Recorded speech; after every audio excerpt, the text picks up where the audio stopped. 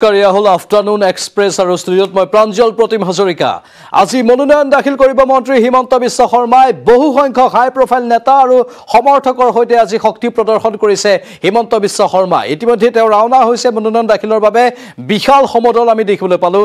ইতিমধ্যে পোনপটীয়া সম্প্ৰচাৰ ধাৰাবাহিক গতিত আপোনালোকক আমি দেখুৱাই আছোঁ। এয়া আকৌ এবাৰ সেই দৃশ্যসমূহ আপোনালোকে মন কৰক। হাজাৰ হাজাৰ লোকৰ উপস্থিতিত তেওঁ আগবাঢ়িছে মনোনয়ন দাখিল কৰিবলৈ। ৰাস্তাৰ দুয়োকাষে বহু লোকে ভিৰ কৰিছে। সম্ভাষণ জনাইছে মন্ত্ৰী হিমন্ত বিশ্ব শৰ্মাই তেওঁলোকক। আনকি একাংশ লোক কৰমৰ্দন কৰিবলৈও আগবাঢ়ি আহিছে হিমন্ত বিশ্ব শৰ্মাৰ কাষলৈ। হিমন্ত বিশ্ব শৰ্মাৰ সৈতে তেওঁৰ পত্নী আৰু পুত্ৰকো একেখন গাড়ীতে দেখিবলৈ পোৱা গৈছে।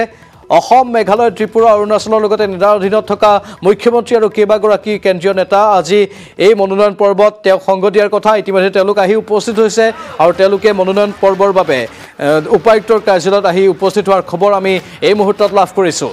বিশাল সমৰ্থক এয়া হিমন্ত বিশ্ব শৰ্মাৰ। সোণাৰাম খেলপথাৰৰ পৰা সমদল কৰি গৈ মনোনয়ন দাখিল কৰিবলৈ আগবাঢ়িছে হিমন্ত বিশ্ব শৰ্মা।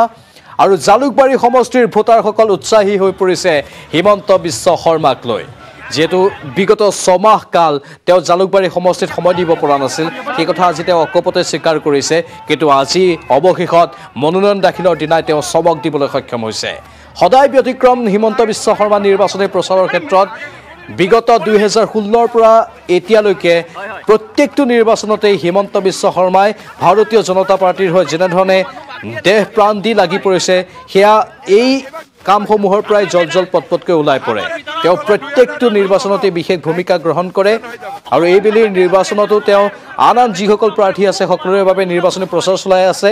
ইতিমধ্যে বহুকেইটা স্থানত গৈ তেওঁ চাইকেল চলাইছে খোজকাঢ়ি পদযাত্ৰা কৰিছে। লগতে তেওঁ গাড়ীৰ ওপৰত ষ্টাণ্ট কৰিও একাংশ প্ৰাৰ্থীৰ হৈ নিৰ্বাচনী প্ৰচাৰ চলাইছে। কেতিয়াবা গান গাই তেওঁ প্ৰচাৰ চলাইছে কেতিয়াবা নাচি প্ৰচাৰ চলাইছে। মুঠতে নিত্য নতুন কৌশল তেওঁ অৱলম্বন কৰি থাকে। কিন্তু নিজৰ বেলিকা যেন তেওঁ নিৰ্বাচনী প্ৰচাৰৰ ক্ষেত্ৰত বহুদূৰ পিছুৱাই আছিল। কিন্তু সেই সকলো আজি অভাৱ যেন দূৰ কৰিছে এই চমকৰ জৰিয়তেই। নিৰ্বাচনী প্ৰচাৰৰ বাবে আজি হাজাৰ হাজাৰ লোকক লৈ নিৰ্বাচনী মনোনয়ন দাখিলৰ বাবে তেওঁ আগবাঢ়িল। এই মনোনয়ন দাখিলৰ পৰ্বত যি অভূতপূৰ্ব ভিৰ হ'ল সেই ভিৰেই যেন হিমন্ত বিশ্ব শৰ্মাৰ শক্তি আকৌ এবাৰ প্ৰদৰ্শন কৰিলে। এয়া বৰ্তমান পোনপটীয়া সম্প্ৰচাৰ আমি আপোনালোকৰ বাবে আগবঢ়াই আছোঁ।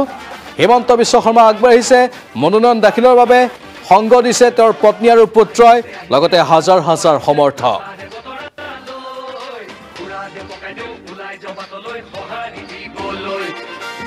নিৰ্বাচনী বতৰত হিমন্ত বিশ্ব শৰ্মাক লৈ যিটো গান ৰচনা কৰা হৈছে সেই গানটো তেওঁৰ সমৰ্থকসকলৰ মাজত সাংঘাতিকেই জনপ্ৰিয় হৈছে খুবেই জনপ্ৰিয় হৈছে আৰু সেই গানটোকেই সম্বল কৰি হিমন্ত বিশ্ব শৰ্মা মনোনয়ন পত্ৰ দাখিল কৰিবলৈ আগবাঢ়িছে। লগত আছে তেওঁৰ সমৰ্থকসকল তেওঁৰ সমৰ্থকসকলে তেওঁৰ শক্তি বুলি উল্লেখ কৰিছে। ঊনৈছশ ছিয়ান্নব্বৈ চনত তেওঁ নিৰ্বাচনত পৰাজিত হৈছিল কিন্তু তাৰ পাছত দুহেজাৰ এক চনৰ পৰা দুহেজাৰ একৈছ চনলৈকে এতিয়ালৈকে যিসমূহ নিৰ্বাচন হৈ আছে প্ৰত্যেকটো বিধানসভা নিৰ্বাচনতে তেওঁ জয়ী হৈ আহিছে। চাৰিবাৰকৈ তেওঁ জালুকবাৰী সমষ্টিক প্ৰতিনিধিত্ব কৰিছে আৰু তেওঁৰ গ্ৰাফডাল নিৰ্বাচনৰ জয়ৰ অংকৰ যিডাল গ্ৰাফ সেইডাল লাহে লাহে ঊৰ্ধগামী হোৱা বুলিও তেওঁ নিজে উল্লেখ কৰিছে। আজি পুৱাৰ ভাগত প্ৰথমে তেওঁ দৌল গোবিন্দ মন্দিৰত গ'ল তাত ভগৱানৰ আশীষ গ্ৰহণ কৰিলে। তাৰপাছত তেওঁ শক্তিপীঠ কামাখ্যাত উপস্থিত হৈ মাৰ আশীষ গ্ৰহণ কৰে আৰু তাৰপাছত ভূতনাথত গৈ কালী মন্দিৰত তেওঁ সেৱা জনালে। এই তিনিওটা স্থানত তেওঁ বিপদ হ'লে বা মনত দুখ হ'লে বা যিকোনো প্ৰত্যাহ্বানৰ সন্মুখীন হ'লে বা জীৱনৰ যিকোনো পৰীক্ষাৰ আগে আগে যায় বুলি উল্লেখ কৰিছে। তেওঁ কৈছে যে এইসমূহ স্থানত গ'লে তেওঁৰ মনটোৱে শান্তি পায় আৰু শক্তি পায়। সেই শক্তিৰেই তেওঁ আগন্তুক দিনত নিৰ্বাচনত অৱতীৰ্ণ হ'ব। আৰু দুই মে'ত সকলো ছয় নিশ্চয় হ'ব বুলি তেওঁ উল্লেখ কৰিছে।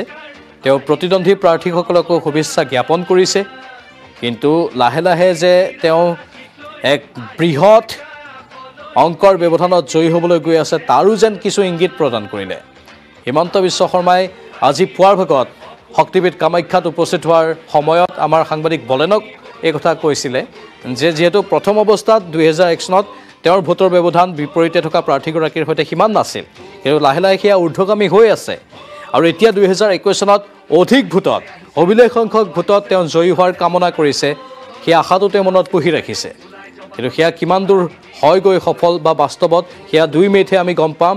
কিন্তু যি কি নহওক প্ৰতিগৰাকী প্ৰাৰ্থীয়ে যিহেতু নিৰ্বাচনৰ আগে আগে নিজৰ মনৰ আত্মবিশ্বাস প্ৰকাশ কৰে নিজৰ আশাখিনি প্ৰকাশ কৰে ঠিক একেদৰে আজি হিমন্ত বিশ্ব শৰ্মায়ো সেইখিনি কথা উল্লেখ কৰিলে। আৰু বৰ্তমান এয়া পোনপটীয়া সম্প্ৰচাৰ আমি দেখুৱাই আছোঁ। হিমন্ত বিশ্ব শৰ্মাৰ এই পদযাত্ৰা কাৰ্যসূচী। আৰু কেইটামান মুহূৰ্তৰ পাছতে তেওঁ উপায়ুক্তৰ কাৰ্যালয়ত গৈ উপস্থিত হ'ব। তাত তেওঁ জালুকবাৰী সমষ্টিৰ বাবে মনোনয়ন পত্ৰ দাখিল কৰিব। তেওঁক সংগ দিছে হাজাৰ হাজাৰ সমৰ্থকে। গোটেই ৰাস্তাত ব্যাপক ভিৰ হৈছে যান জঁটৰো সৃষ্টি হৈছে। আৰু হিমন্ত বিশ্ব শৰ্মাৰ পুষ্পসজ্জিত গাড়ী এই ভিৰ ফালি ফালি আগবাঢ়ি আছে মনোনয়ন পত্ৰ দাখিলৰ বাবে।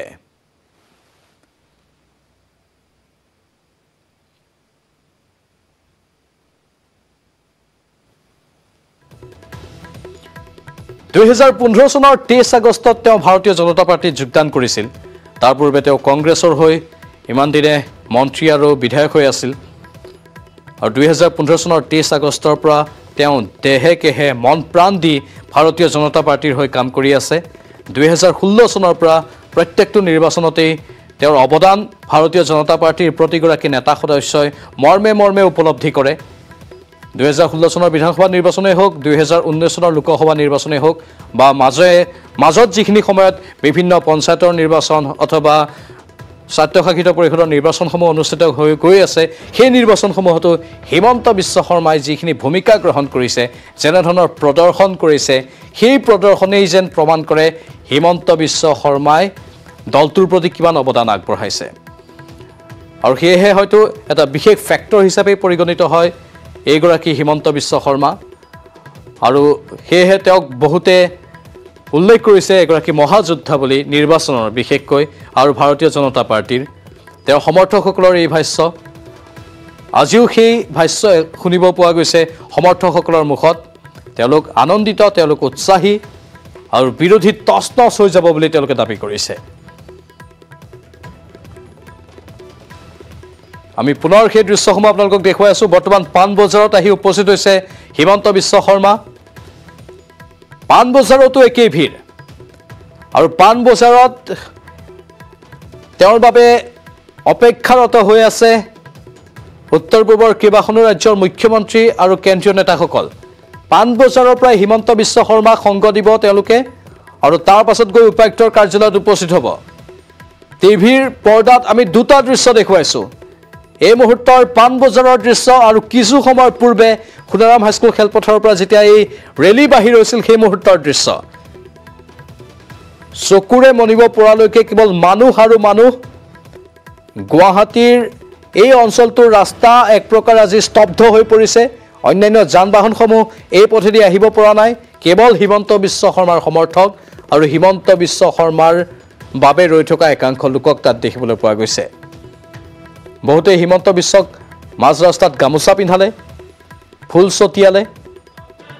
লগতে তেওঁৰ পুত্ৰয়ো বহু লোকৰ সৈতে কৰমৰ্দন কৰিলে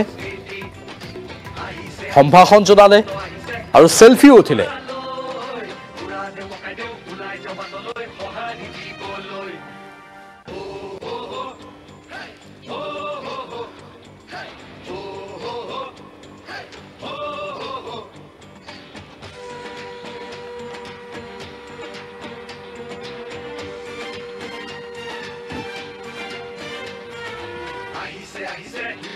আহিছে আশাৰে বতৰালৈ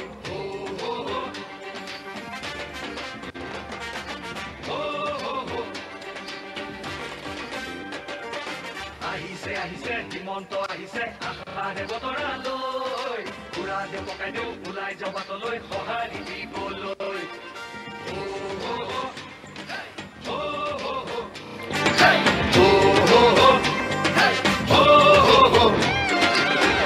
তুলিব বিজেপি আহিব বান্ধু বটঙালী। ঘূৰিব লাগিব বচাব লাগিব আমাৰ সংস্কৃতি। আহিছে আহিছে হিমন্ত আহিছে আশাৰে বতৰালৈ উৰা দে পকাই দিওঁ ওলাই যাবাতলৈ সঁহাৰি দিবলৈ মামাক চুই চাবলৈ গামোচা পিন্ধাবলৈ আছিল তুৰন্ত হেঁপাহ তেওঁ আজি আহিছে বাটে পথে চাইকেলখন লৈ ওলা। মোদীৰ সপোন আকৌ চৰকাৰ মোদীৰ সপোন আকৌ চৰকাৰ। আহিছে আহিছে হিমন্ত আহিছে এটা বিশেষ গীত। আৰু বিজেপিৰ সমৰ্থকসকলৰ মাজত বা হিমন্ত বিশ্ব শৰ্মাৰ সমৰ্থকসকলৰ মাজত এই গীতটো জনপ্ৰিয় হৈছে। আৰু তেওঁলোকে হিমন্ত বিশ্ব শৰ্মাক মহাযোদ্ধা বুলি অভিহিত কৰিছে। কিন্তু আজিৰ দিনটো এটা গুৰুত্বপূৰ্ণ দিন কাৰণ তৃতীয় পৰ্যায়ৰ মনোনয়ন দাখিলৰ আজি হ'ল অন্তিমটো দিন। বহুকেইগৰাকী হাই প্ৰফাইল প্ৰাৰ্থীয়ে আজি মনোনয়ন দাখিল কৰিছে বা বিয়লি ভাগলৈকে কৰিব। কিন্তু সকলোৰে দৃষ্টি নিবদ্ধ হৈ আছে হিমন্ত বিশ্ব শৰ্মাৰ মনোনয়ন দাখিলৰ পৰ্বক লৈহে। তাৰ ওপৰতে যেন সকলোৰে দৃষ্টি নিবদ্ধ আৰু সেয়েহে হিমন্ত বিশ্ব শৰ্মাৰ জনপ্ৰিয়তা আকৌ এবাৰ যেন আজি বহুতে উপলব্ধি কৰিছে। হিমন্ত বিশ্ব শৰ্মা বুলি ক'লেই অসমৰ ৰাজনীতিত এক অন্য বা অনন্য এক ব্যক্তি হিচাপে পৰিচিত। অসমৰ ৰাজনীতিৰ চাণক্য বুলি কোৱা হয় হিমন্ত বিশ্ব শৰ্মাক। কথাৰ ক্ষেত্ৰতে হওক বা নিৰ্বাচনী চমকৰ ক্ষেত্ৰতে হওক সদায় হিমন্ত বিশ্ব শৰ্মা ব্যতিক্ৰম। আৰু সেই ব্যতিক্ৰমতাৰ পৰিচয় তেওঁ ধাৰাবাহিক গতিত দি থাকিবলৈ সক্ষম হৈছে। এইবাৰো তেওঁ আত্মবিশ্বাসী। তেওঁ নিজৰ মনৰ কথা ইয়াৰ পূৰ্বে আমাৰ সৈতে হোৱা আছুতীয়া সাক্ষাৎকাৰতো উল্লেখ কৰিছিল যে দুহেজাৰ একৈছ চনতো ভাৰতীয় জনতা পাৰ্টীয়ে বিপুল সংখ্যক ভোটসহ সংখ্যাগৰিষ্ঠতা অৰ্জন কৰিবলৈ সক্ষম হ'ব। কিন্তু তাৰ বিপৰীতে বিৰোধীয়ে হিমন্ত বিশ্ব শৰ্মাক সমালোচনাও কৰিছে আৰু বিভিন্ন কথাত বিৰোধীৰ টাৰ্গেট হৈ পৰে এইগৰাকী হিমন্ত বিশ্ব শৰ্মা। থকা সৰকা কৰে কথাৰে হিমন্ত বিশ্ব শৰ্মাক। আৰু হিমন্ত বিশ্ব শৰ্মায়ো প্ৰত্যুত্তৰত তেওঁলোকক থকা সৰকা কৰা দেখিবলৈ পোৱা যায়। মুঠতে তুমুল যুদ্ধ হৈ থাকে বিৰোধী আৰু হিমন্ত বিশ্ব শৰ্মাৰ মাজত। হিমন্ত বিশ্ব শৰ্মাই যি যি কৌশল অৱলম্বন কৰে সেই কৌশলেই চমক দিয়ে। কেতিয়াবা তেওঁ গাড়ীৰ ওপৰত ষ্টাণ্ট কৰি নিৰ্বাচনী প্ৰাৰ্থীৰ বাবে প্ৰচাৰ চলায় কেতিয়াবা চাইকেল চলায় কেতিয়াবা শোভাযাত্ৰা কৰে পদযাত্ৰা কৰে। কেতিয়াবা নাচি নাচিও তেওঁ নিৰ্বাচনী প্ৰচাৰ চলোৱা। ইয়াৰ পূৰ্বৰ নিৰ্বাচনসমূহত দেখিবলৈ পোৱা গৈছিল। বিশেষকৈ দুহেজাৰ ঊনৈছ চনৰ লোকসভা নিৰ্বাচনৰ সময়ত হিমন্ত বিশ্ব শৰ্মাৰ নাচে বহুতোকে আকৰ্ষণ কৰিছিল। আৰু তেওঁৰ সেইটো ব্যতিক্ৰমী এটা কৌশল বুলি সকলোৱে অভিহিত কৰিছিল। এক অনন্য ষ্টাইল বুলিও বহুতে অভিহিত কৰিছিল। এইবাৰ হিমন্ত বিশ্ব শৰ্মাৰ সেই নাচ দেখিবলৈ পোৱা হোৱা নাই যদিও তেওঁৰ আন আন যিসমূহ কাৰ্যসূচী আছে সেই কাৰ্যসূচীসমূহে কিন্তু আকৰ্ষণ কৰিছে প্ৰতিগৰাকী ভোটাৰক। নিৰ্বাচনী ফলাফল জনতা জনাৰ্দনৰ ওপৰতে নিৰ্ভৰ কৰিব কিন্তু নিৰ্বাচনী প্ৰচাৰৰ ক্ষেত্ৰত কোনো ধৰণৰ ত্ৰুটি কৰা নাই হিমন্ত বিশ্ব শৰ্মাই। নিজৰ সমষ্টিত অৱশ্যে তেওঁ প্ৰচাৰ চলাব চলাবলৈ সময় পোৱা নাই তাৰ বিপৰীতে আন আন প্ৰাৰ্থীসকলৰ হৈ তেওঁ প্ৰচাৰ চলাই আছে। নিৰ্বাচনী সভাসমূহত অংশগ্ৰহণ কৰিছে কিন্তু অৱশেষত আজি মনোনয়ন দাখিল কৰাৰ দিনটোত যিটো তেওঁ প্ৰচাৰ দিলে বা যিটো তেওঁ চমক দিলে সেই চমকে কিন্তু বহুকেইটা ইংগিত বহন কৰিছে। এয়া হিমন্ত বিশ্ব শৰ্মা বৰ্তমান পাণবজাৰত গৈ উপস্থিত হৈছে আৰু উপায়ুক্তৰ কাৰ্যালয়ত গৈ তেওঁ মনোনয়ন পত্ৰ দাখিল কৰিব। ব্যাপক ভিৰ হৈছে আৰু সেই পথেদি কোনো ধৰণৰ অন্যান্য যান বাহন চলিব পৰা নাই স্তব্ধ হৈ পৰিছে সকলো। আৰু ভিৰ ক্ৰমান্বয়ে বাঢ়ি গৈ আছে।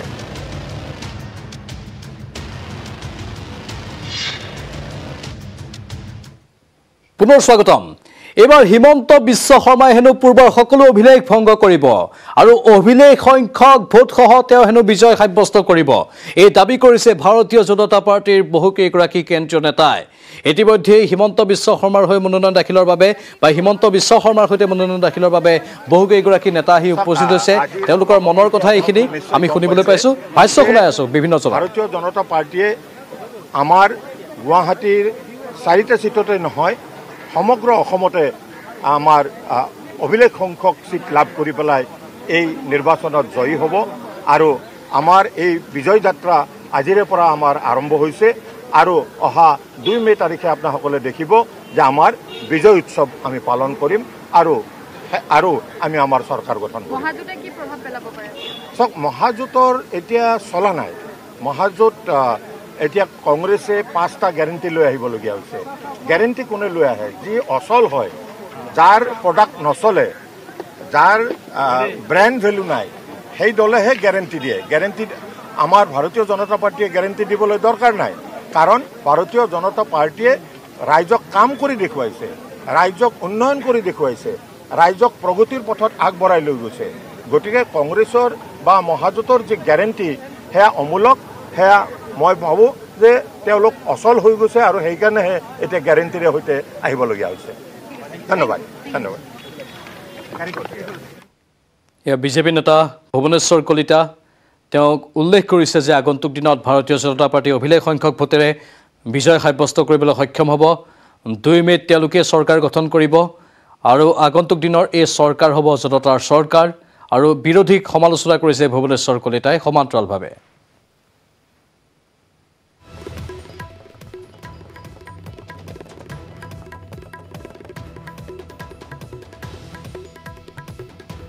আমাৰ ঋত্বিক কৌশিক আছে পাণবজাৰত বহুজনৰ ভাষ্য সংগ্ৰহ কৰি আছে ঋত্বিকে। যদি সম্ভৱ হয় আমি ঋত্বিকৰ কাষলৈও যাম। লগতে আমাৰ আন কেইগৰাকী সাংবাদিক বলেন হীৰক নীলোৎপলো আছে লাইভত। তেওঁলোকেও প্ৰতি মুহূৰ্তৰ খবৰ জনাই আছে। ঋত্বিক কৌশিক আৰু কোন কোন আছে আপোনাৰ কাষত নেতা? ইতিমধ্যে বহুকেইগৰাকী মন্ত্ৰী বা উত্তৰ পূৰ্বাঞ্চলৰ মুখ্যমন্ত্ৰীয়ে হিমন্ত বিশ্ব শৰ্মাক সংগ দিয়াৰ কথা আছিল। কোন কোন আহি উপস্থিত হৈছে তাত?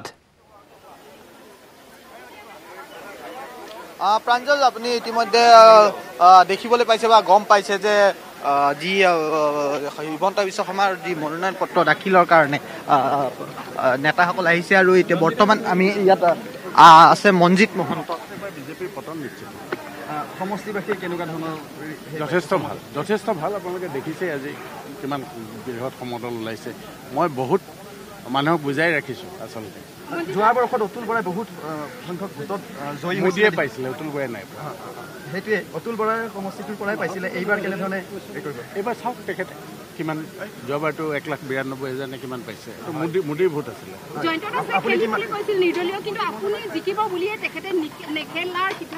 তেওঁলোকৰ ভিতৰুৱা কথা মই জিকিম বুলি নেখেলাৰ কথা ক'লে নে অন্য কিবা অংক আছে সেইটোতো লাহে লাহে ৰাইজে গম পাব। মোদীৰ ঢৌ কমিছে নেকি? যোৱা বছৰ বহুত কাৰ ঢৌ মোদীৰ ঢৌ। এতিয়া ক'ত আছে? এতিয়াতো ভাটাত চলি আছে জোৱাৰত নাই এতিয়া। ভাটা এতিয়া ভিতৰে ভিতৰলৈ সোমাই যায় যে পানীটো তেনেকুৱা। পতন নিশ্চিত এইবাৰ মহাজোঁটৰ চৰকাৰ দিছপুৰত এশ শতাংশ নিশ্চিত। আপুনি জয়ী হ'ব কিমান ভোটত জয়ী হ'ব? সেইটো মই বেলেগৰ নিচিনাকৈ দম্ভালি নামাৰোঁ। তথাপিতো মই বিশ্বাস আছে ওপৰলাৰ ওপৰত মোৰ বিশ্বাস আছে মানুহৰ ওপৰত ৰাইজৰ ওপৰত।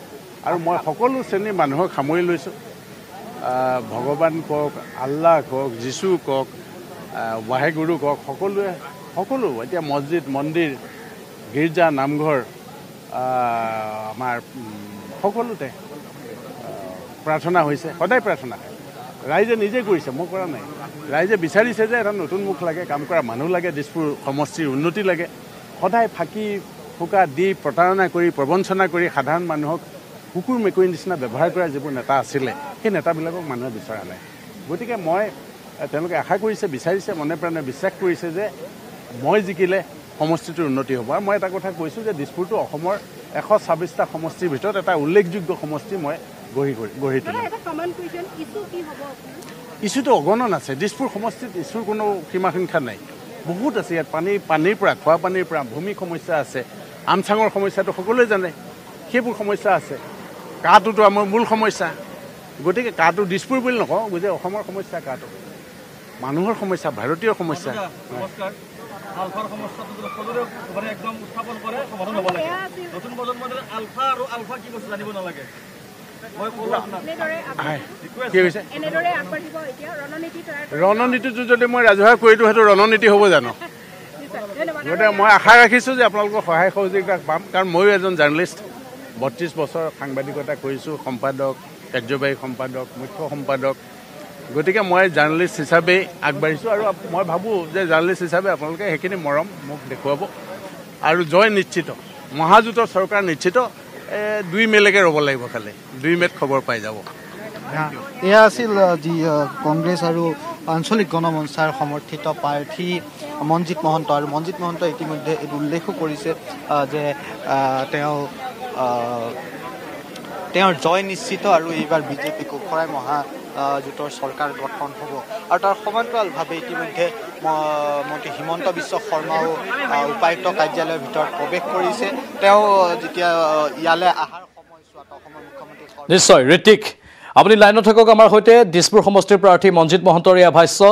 বিপৰীতে হিমন্ত বিশ্ব শৰ্মা উপায়ুক্ত কাৰ্যালয়ত প্ৰৱেশ কৰা বুলি আমালৈ খবৰ আহিছে। অৰ্থাৎ তেওঁ মনোনয়ন